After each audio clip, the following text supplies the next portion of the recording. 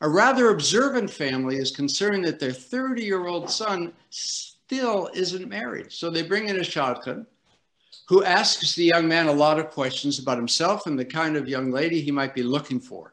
And the young man responds, as you might expect, she should be attractive, well educated, spirited, have a good sense of humor, everything you'd, you'd hope to hear.